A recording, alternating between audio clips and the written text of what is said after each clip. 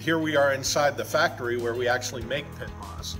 You'll see behind me that we actually use a bunch of different feedstocks to make our product. 34% of material that goes to the landfill is cellulose fiber. That's even after all of the recycling that we do. So we feel like there is a plentiful amount of product out on the market that we can use as feedstock and we continue to do more and more R&D to improve our products and integrate new feedstocks into what we do. The first half of the plant that I'm going to show you is where we fiberize those feedstocks. So we take paper, cardboard type materials, cellulose fiber, and again, we fiberize it to a really small particle size. This is not super unique to PittMoss. People that make blow-in insulation use a similar process. We also make a very unique particle size in our mixer. We have a patent pending technology around how we formulate the PittMoss.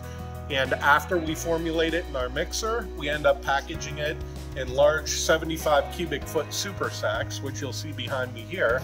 This is where, in some cases, we actually compost our material. From here, this is where we would package into smaller packaging um, to get ready for the retail market.